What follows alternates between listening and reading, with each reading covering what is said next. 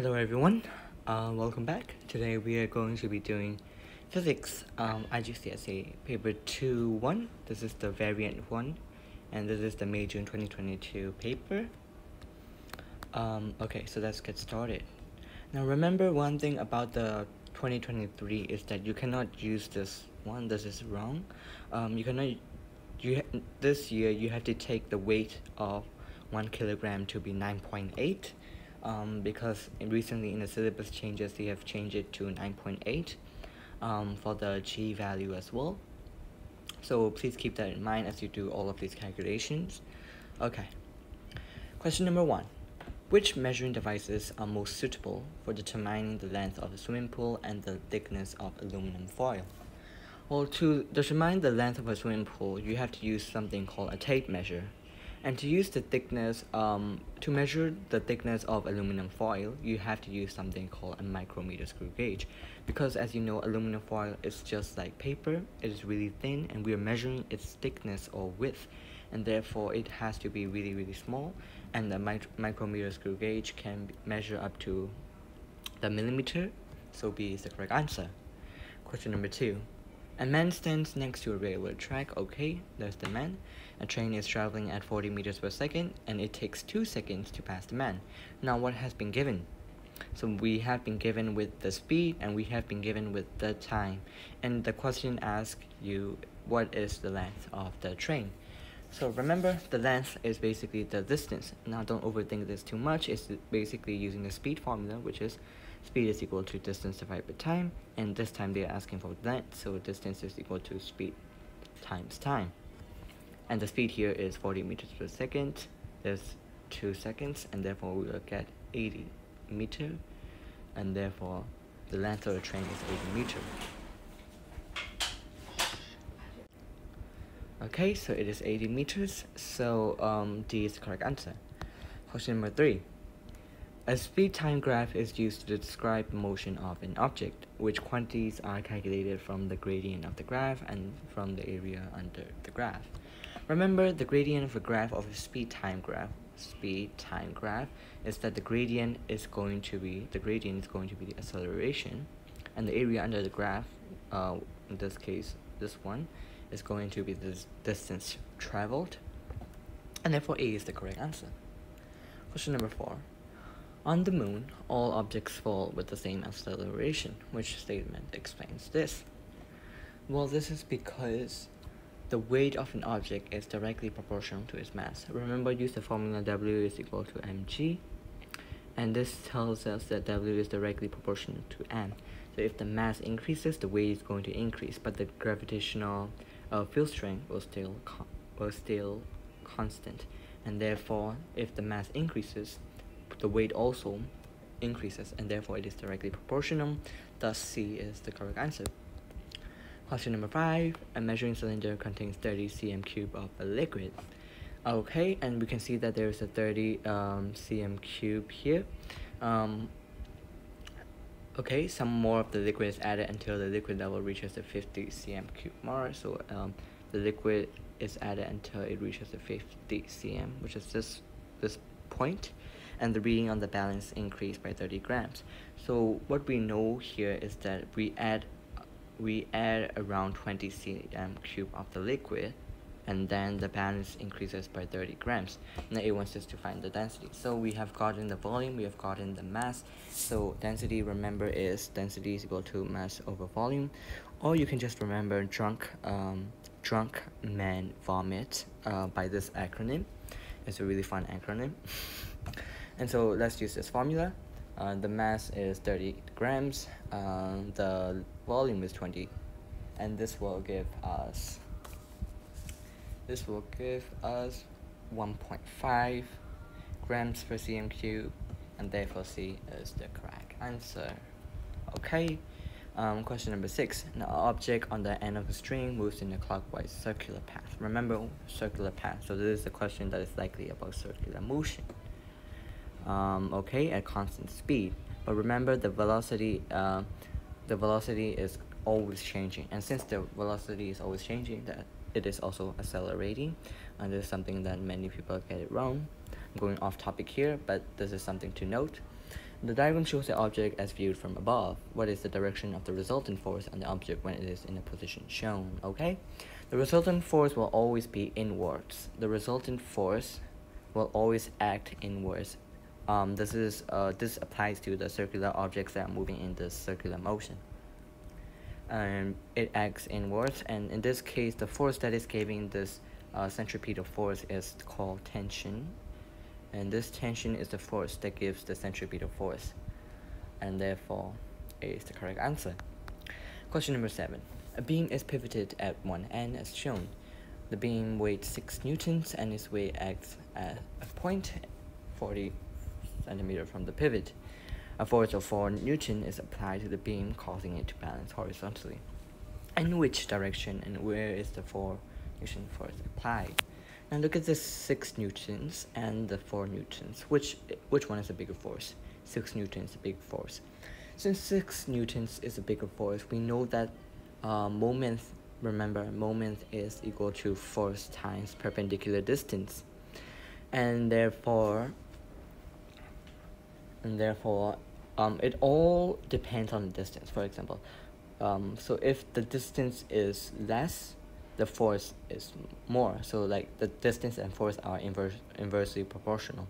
If the distance is um, very far away from the pivot, then the, there you need less force and therefore uh, a lower moment. Okay, so since the 4 newtons, uh, 6 4 newton is smaller than the 6 newton, it has to be, the distance has to be longer or further away from the pivot and therefore it has to be and then it is saying that it is balancing horizontally. This means that it is in equilibrium. If it's in equilibrium, then it must, since the weight is acting downwards, um, the moment or this 4 Newton force has to apply upwards. So we know it has to apply vertically upwards and it has to be longer than the 40 distance. So it has to be 20 cm on the right, on the right. So it is going to be, the distance is going to increase. Therefore, D is the correct answer. Question number 8, and on the diagram, what is the magnitude of the resulting force of these two vectors? Now remember, there are two ways to do this, but I would like to show you the most easiest way possible. You could use the parallelogram method, and you could measure this distance uh, if you have a ruler, and then work out with the scale. But since I do not have that, I'm going to use the uh, Pythagoras method, which is um, to move this to the side. So it's going to be like this. Okay the 6 newton is going to be here. And therefore we have to from the tip from the end of the tip to tail this is how we work out. Usually we work out that it's, it's, it's called the tip to tail method. Um, tip to tail method. And okay so here we can use the Pythagoras method which is 6 and we want to find the hypotenuse so um, using the a square is equal to b squared plus c squared so we can find the equation. So this is 8 squared plus 6 squared over the square root. This is going to give us 10. So C is the correct answer. Question number 9. Three situations are listed. An object has a resultant force acting on it. An object experiences an impulse. An object is decelerating. In which situation is the momentum of the object changing? Remember, momentum is represented by small p and it is equal to mass times velocity. Now it says that a resultant force is acting on it. It is true because remember force is equal to change in momentum over time. You have to remember the formulas as well to get this right. Uh, force is equal to moment uh, change in momentum over time. And therefore if if the momentum is changing or increasing or decreasing, the force will also increase or decrease um, corresponding to the change in momentum. And therefore, number one is correct. An object moving experiences an impulse. Remember, impulse is basically a change in momentum or force multiplied time. Uh, this is equal to change in momentum. So if the momentum is also changing or increasing or decreasing, then the impulse will also increase or decrease respectively. And therefore, 2 is also correct. An object is decelerating. Okay, for this one, um, it is also experiencing momentum because the velocity is changing, the speed is changing, and therefore um, the momentum will also change, and therefore 1, 2, 3 are correct. So D is the correct answer. Question number 10. A ball of the mass 0.16 kilograms is moving forward with a speed of 0.5 meters per second. A second ball of a mass 0.10 kilograms is stationary. Remember when it's stationary, the speed is always equal to 0. Um, the first ball strikes the second ball. The second ball moves forward with a speed of 0.50 meters per second. What is the speed of the first ball after the collision? Remember, there are two cases of momentum in IGCSE level. Um, there is the one of the momentum where a ball strikes the other and then they will move together in the same direction or they will be in the opposite direction and bump into each other. They'll collide to each other. Or the other one is that one of the ball the ball two of them will move together uh, but at different speeds. Okay? So what is the speed of the first ball? Uh, so remember we have to remember a very important principle here which is the momentum before the total momentum before has to equal to the total momentum afterwards. And so by using this principle, you can solve this whole um, uh, word problem. So here, so this is the mass and the velocity. So which is, this is ball A. The second ball, let's give it ball B. So 0 0.16 multiplied 0 0.50 and it's going to, this is the total momentum before, it's going to equal to the second ball um, which is moving at a speed of 0 0.5. So 0 0.10 times 0 0.50 plus, because there's also the first ball, uh, we don't know the speed of the first ball, but we know the mass, so we can write 0 0.163. And we have to find this v. We just have to substitute it and find the v. So v is going to equal to, the v is going to be equal to 0 0.50 meters per second and therefore B is the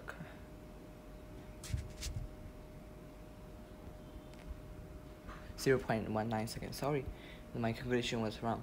Okay, the V is going to equal to zero point one nine meters per second, and therefore B is the correct answer. Okay, question number eleven. A mass hangs vertically from a spring. The mass is raised to point P and then it is released the mass oscillates. Remember, oscillates. Okay, repeatedly between point B and lower point Q, which energies alternately increase and decrease throughout the oscillation. Remember, oscillating means they're bouncing up and down, and remember, this mass is highly likely to be a ball, and if there are oscillations, then there, may, there is an elastic energy, elastic energy, and so there's also a change in gravitational potential energy because there's the lower point and the higher point P and then there's also since there's GPE the GPE is going to turn into KE which is going to turn into elastic energy. So A is the correct answer. Okay question number 12 a car has 620 kilojoules of kinetic energy now this energy. The car brakes and stops in a distance of 91 meters. 91 meters is the distance what is the average braking force of acting on the car? So now we get the energy and resistance um, so we want to know the force. So first remember we have to know the work done formula. First of all the work done is equal to force times distance. And if we want to find the force we just have to rearrange it which is force is equal to work done over distance.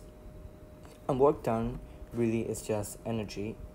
And therefore the energy is 60 620 kilojoules, which is 620,000 joules, and then the distance is 91 meter. And if we divide them, we are going to get 6,813, or which is equal to 6,800 uh, newtons. So C is the correct answer. Question 13. The diagram shows a deep reservoir formed by a dam. On what does the pressure at X depend on? So the pressure of X is underwater. It is below the water. It has a height below. So this means uh, the pressure in liquids or in underwater is dependent mainly on the height or the depth of the water at X. So E is the correct answer. Question number 14. A sealed rigid container has fixed volume. The container is filled with air. The container is placed in a freezer cabinet and the temperature of the air in the container decreases which rule correctly describes what happens to the air in the container. The average distance between air particles are going to be, uh, it, it will not change, but the average speed of the air particles will, however, decrease because it is placed in the freezer and therefore the temperature also decreases. If temperature decreases, the kinetic energy decreases, which means the speed also decreases. And therefore C is the correct answer. Question 15. Two open containers are filled with water at room temperature. The containers have different shapes. Container 1, Container 2. From which container does the water evaporate at a greater rate and how does the rate of evaporation can be increased? Remember there are so many factors that play uh, on evaporation. There's the fan speed um, that plays a role on the rate of e evaporation. And there's also the surface area which is very important. So the larger the surface area the greater the rate of evaporation. So obviously the container 1 we can see it has more surface area uh, than container 2 and therefore the rate of evaporation will be greater in container 1 how can the rate of evaporation evaporation can be increased? Remember there's also another factor called temperature if you increase the temperature, the rate of evaporation will also increase. So we can increase the water temperature, so B is the correct answer. Question 16. The diagram shows a liquid in glass thermometer. The student wishes to check the markings of the upper fixed point of this thermometer. What should she do?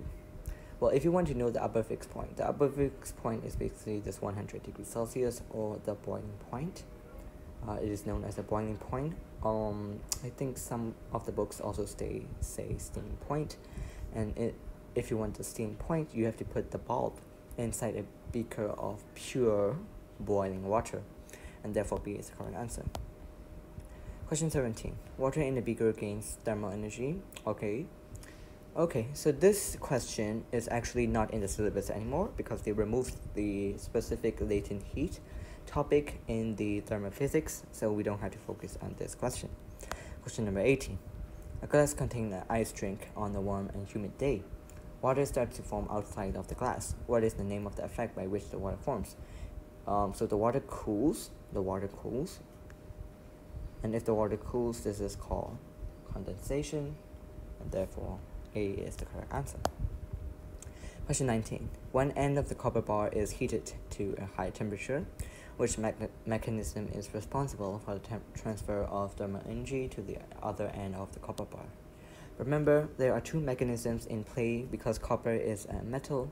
One, one of which is the atoms or, or the ions of copper, and the vibration of the copper ions, and the other is the movement of the energy of the electrons. So therefore, the lattice vibration of copper ions and with together with the movement of the high energy electrons, they will transfer the energy, and this is called thermal conduction. Therefore, B is the correct answer. Question 20. The diagram shows a convection current caused by a piece of ice placed in a beaker of water at room temperature, which rows correctly to compare the temperature and density at points P and Q. Okay, how so at temperature at P, remember the ice water, this is convection, convection, and in convection, the at point P is where the cold air lays because they are denser, they're very dense. And at Q, it is high up because it is less dense.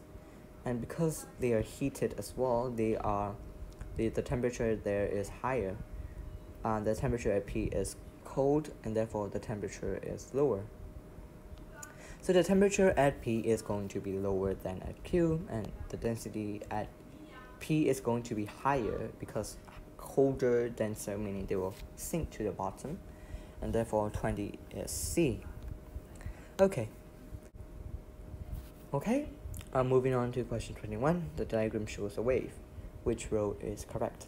Now remember, the amplitude of the wave is basically the point from which it is undisturbed uh, from its maximum displacement. So the undisturbed position is basically this axis line. You can see this x-axis, and that is its um, undisturbed position. Undisturbed position. And so that is basically um, from the maximum displacement from here to here, basically how high it is, and therefore it is 1 1 centimeters uh, for the wavelength the wavelength is basically um, one oscillation. So basically if we can go from here to here this is one wave. Um, it could also be from one trough to another trough. This is also one wave.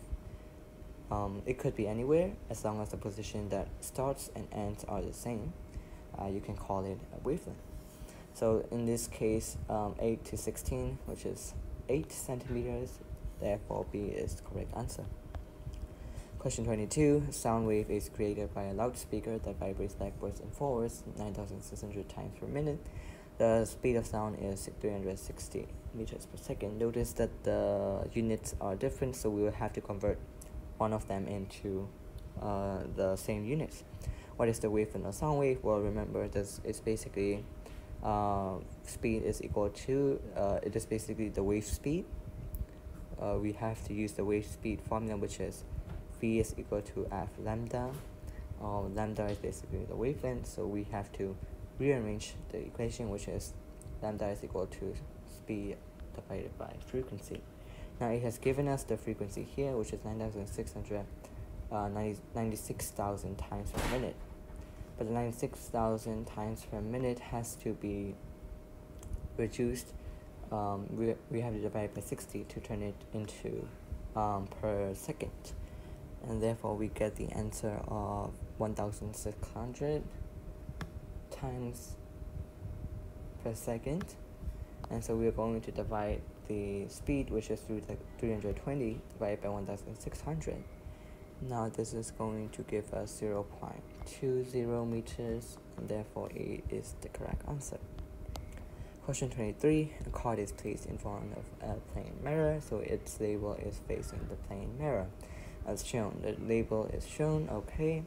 What, how does the image of the label formed by the mirror appear to the observer? Remember when you put in the mirror or a plane mirror, uh, the reflected image is always laterally inverted. Laterally inverted. Remember, so what the, what do I mean by this laterally inverted? Laterally meaning it will only change from right to left or left to right.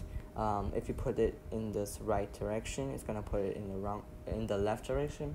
And if you put the object in the left direction the image shown on the mirror is going to be in the right direction. So they're only going to change right and left. They won't change they will not be reflected um, up and down. This is what the word laterally means. And therefore you see this one um, this is so this is going to just get reflected um, left and right. So it is going to be I and this is going to be C. Therefore C is the correct answer Question 24. Uh, a thin converging lens can produce both a real and virtual image, which rules describe a real and virtual image. In a real image, the rays will converge together to form the image. However, in a virtual image, image cannot be projected into onto a screen, and that is something that you will have to learn by heart. Question 25. The speed of light in air is 3 multiplied 10 to the power 8 meters per second. This is the speed. The critical angle for light in transparent plastic material is uh, 37 degrees, so this is given as the C. Or the critical angle, what is the speed of light in the plastic material? Now this is a two-step process. Remember the formula n is equal to 1 over sine c. We have to first find the, the refractive index. So 1 over sine 37, this is going to give us 1.66 and 1.66 okay so remember uh, another formula of the refractive index. It is the ratio of the speed of light in air or the in, in a vacuum uh, divided by the speed of light in the medium. In this case the medium is the plastic material. So the speed of light in air is 3 um, so if we rearrange the equation um, is going to be speed of light which is 3 multiplied 10 to the power 8 and the refractive index which is 1.66 if we divide them like that we will get 1.8 multiplied 10 to the power 8 meters per second and therefore A is the correct answer. Question 26. Which part of the electromagnetic spectrum is used by a remote controller for television? In television, we use um, the inf infrared spectrum part, and therefore A is the correct answer. Uh, now, do notice that you have to know all the uses and consequences of this electromagnetic spectrum and each wave and their uses in the real world um, that is required in the syllabus. Question 27. Which statement compares radio waves and X-rays? Remember, you have to learn the, the full part, which is the radio waves, microwaves, and then infrared waves, visible light, and then ultraviolet, and then X-rays, and then gamma rays. You have to learn these. Uh, this process there's probably an acronym for it, but I just remember them like that. And so radio waves has very long wavelength, and the X-rays have short wavelength. However, their frequency is increased. Okay, so radios have longer wavelength. This is correct, and they have the same speed in vacuum. Remember, all electromagnetic waves travel at a constant 3 multiplied 10 to the power 8 inside a vacuum, and therefore B is correct. That is 28 student counts how many iron pins an electromagnet picks up when the power supply is switched on. Then she counts how many pins are picked up when the power supply is switched off. Okay, this is okay. She repeats the experiment using a core made of different materials.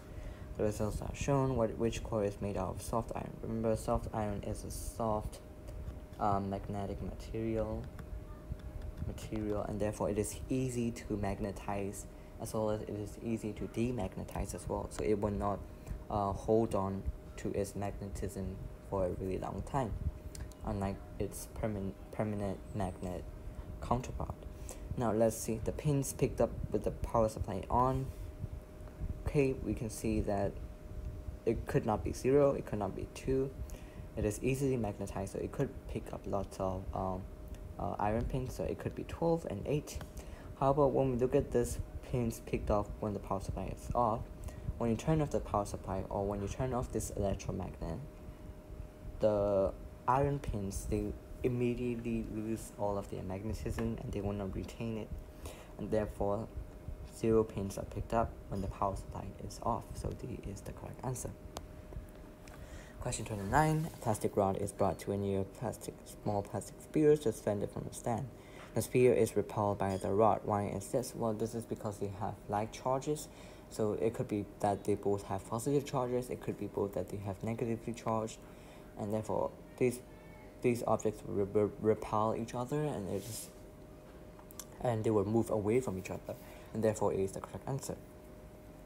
Question 30. Which unit is equivalent to volt? So this is basically asking your knowledge about whether you know the formula of volt. Do you really understand what a volt means? So recall the equation volt is equal to energy over charge. So it is the amount of energy that is needed to push a charge around a circuit. Um, and therefore it is uh, remember energy unit is joules and charge unit is coulomb and therefore 1 volt is equal to 1 joule per coulomb and therefore B is the correct answer. Question 31. A resistor converts 360 joules of energy when there is a three current of 3 amperes in it. The potential difference across the resistor is 6 volts. How long is the current in the resistor? Now this also is a two-step process and then you have to use many formulas. So first of all, we have to know what it is asking. It is asking for the time. So remember, voltage is equal to energy over current over or voltage is energy over coulomb or charge. I'm sorry, I messed up. So and then Q is equal to E over V if we rearrange it. Now we know that the Q is equal to IT. This is the formula. And then we know we want to find the T basically. The T is equal to Q over I. And so we know that the energy here is going to be 360 because they've given us 360 joules. And the volt here is 6 volts. And this is going to give us 60 um, 60 coulomb. Now the, they also given us the current. So time is equal to 60 coulomb divided by 3 amperes. This will give us a total of 20 seconds. And therefore B is the correct answer. Question 32. The four circuits are shown. They contain four diodes, in which a circuit is the direction of the current in resistor always from the red to the black. Okay, for this one it's a little bit tricky, but you know it's mostly uh, easy to do. Um, so here, remember the diode symbol looks like this, and this is the positive side, and the the one with the long stick is the negative negative charge. So it'll always go from positive to negative. So we can look at this from here. So it's gonna go from like this, it's gonna go like this, it's gonna go like this. So it will go from red to black, and then it's going to go back from red to black again. And therefore, if you can see the pattern there, um, it's going to go from red to black as always. Um, therefore, we and therefore is the correct answer. Now, if you don't know about this, uh, there's a pretty um, coincidence um, with these IGCSE papers is that most of the hard questions, the harder one, the longer questions, most of the answers are um, in the A option. Um, I don't know if it is just by chance, but most of the past papers that I have done, always the hardest one, they always contain at A. So maybe just a tip for you guys in case you forgot or don't know how to do question just choose the option A. okay, question 33. The diagram shows a circuit of six identical lamps connected to a battery. Which lamps are the brightest? Also, this also seems like a very hard question, so probably A is the answer, but let's figure it out. Okay, it says six identical lamps, so the, the resistance is constant. Okay, so the battery Remember, in a series, P is connected to series with this parallel with other two parallel circuits, and so we can say that um, in series, remember the voltage is shared. Voltage is shared. Um, the EMF or the supply voltage, the supply voltage, supply voltage is shared among the three that are connected in series. But in parallel, however, in parallel, the voltage is the same as the EMF or the supply. Okay, so in parallel, it is the same as the EMF or the supply. Uh, to help you better understand this, I'm going to give you an example and let, let's say that the battery has uh, 9 volts. Now this 9 volts is going to be shared across in series, in series um, so each of them, because they're identical, each of them are going to get 3 volts. This is going to get 3 volts. This is also going to get 3 volts. But remember Q and R are in parallel and they both will have 3 volts. R is going to have 3 volts as well. S is going to have 3 volts. Um, uh, T is going to have 3 volts. U is going to have 3 volts.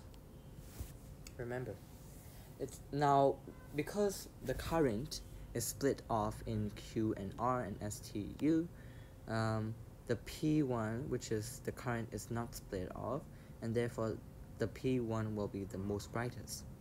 Although all the voltages are the same, the current are not the same, because um, because of the because the current is split off in Q and R, and STU, the current is not split off. And so the current also depends on the brightness, not only the voltage. So in this case, the voltage is constant, but the current is not. And therefore, P is the brightest. So A is the correct answer. Okay. Question 34. Okay, we can definitely skip this when we see this because this is a logic gate question. And remember, starting from 2023 and onwards, um, the physics syllabus they have removed everything concerning about logic gates and there is no more ele um, electron guns um, or the um, cathode ray tube and there are no such things like that anymore but however they added a new topic called space physics and this is the one to make up for all the content that is removed um, so we can skip this question because it is no importance of our syllabus requirements a magnet is dropped vertically through a solenoid. This induces mag magnetic poles at both ends of the solenoid. Okay. Um, which magnet poles are induced at position X in diagram 1 and 3? Okay, in diagram 1, remember when the magnet, okay, so when the magnet goes in, it is moving towards the solenoid. It is going to make this into a magnetic field. This is going to become a magnet. It's going to induce it for it to be a magnet. And the magnetic field that is produced by the solenoid is going to oppose the direction, oppose the direction. So when the south pole is going inwards, there's going to be a south pole at the at the other end so that they will repel. In other words, it opposes the direction of the movement. The same as well goes from here when it goes out and this is north, then it's going to attract back again because if it goes out, you're going to go in. If it's go in, it's going to let you go out. And so this is what is known as Lenz's law. It opposes the direction of motion. And in here, so if it goes, if it wants to attract again, this place should be south as well. And therefore, the diagram 1 has to be south, the diagram 3 also has to be south. And therefore,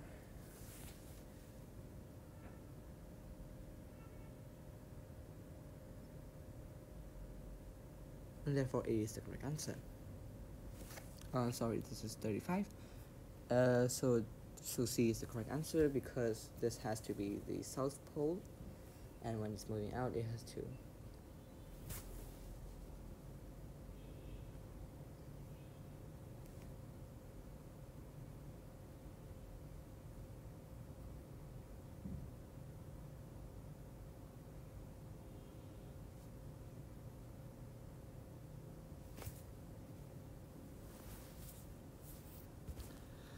Okay, I'm sorry here. Um, I have made you guys confused. It says at the position X. I was looking at the position at this position, so I was totally wrong about that. Okay, so if it's going out north, it's going to attract. It was going to let you attract inwards. So this is going to be south. If this is south, the upward at, at the position X is going to be north. So it's going to be north. Sorry, I didn't look at the diagram um, as well because it takes position X, not this, not the position here, and therefore C is the correct answer. Um, question 36, which transformers can change 240 AC into 15 volt AC output? So this is all about ratio, ratio, ratio. Remember the transformer equation, it is just basically the primary turns ratio over the primary and the secondary turns and then the primary voltage over secondary voltage. Okay so here it is definite since the secondary output is going to be lower than the primary output we can see that this is a step down transformer. And so we just have to find the ratio. If you've given us this ratio this ratio has to equal the number of turns ratio has to be equal to the voltage and so we just have to divide this by this this by this this by this and this by this. And so I've done the math for you. This is going to be D and which is 1200 divided by 75 is going to equal to 16 and 240 volts divided by 15 is also going to be 16 and therefore D is the correct answer. Okay question 37 what is the purpose of the split ring commutator in the electric motor. Well, in the electric motor, it is to ensure that the turning effect, remember, on the motor stays the same at all directions. So it will only be continuously turning clockwise or anti-clockwise. Uh, it doesn't want you to turn halfway anti-clockwise and halfway clockwise direction. So it would become like an AC uh, but we want to ensure so that the turning effect on the motor stays at the same direction as all time. So D is the correct answer. Question 38, how do the sizes of two nuclei pro produce in nuclear fission reaction compare to the size of the original nucleus? Remember the size of the two nuclei produced in nuclear fission, which means uh, they both have to be smaller than the original nucleus, and therefore C is the correct answer. Question 39. Which statement about the radioactive decay of a substance is correct? Remember, radioactive decay is random and it's a random process, and therefore it is uh, you cannot predict when a par particular nucleus will decay, and therefore A is the correct answer. Question 40. Okay, the diagram shows a stream of beta particles traveling in line that passes through the poles of a magnet. In which direction will the beta particles be deflected by the magnet? Now remember, we have to use a direction it is acting for the motion of the force. The force. And therefore we have to use uh, Fleming's left hand rule. Left hand rule to figure this out. So we have to figure out the force direction. The force direction is the thumb. Um, the the first finger or your index finger um, is going to be the magnetic field, and your second finger or your third finger, if you would like to call it, is going to be the direction of alpha particles. Because alpha particles is basically current. And a current goes from positive to negative. And so what is the opposite of the alpha alpha current is the beta particle and therefore you have for this question it's easier to do the alpha particle find the alpha particle's force and motion and then the opposite of the force and motion is the beta particle's force and motion and therefore if you do it if you put your hand out in the direction as shown um, you are going to get the the force of the direction is going to be into the page and therefore C is the correct answer.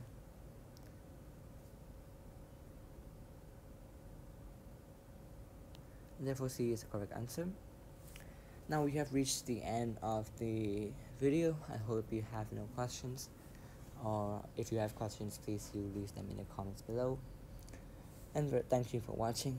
As always, I'll see you in the next video.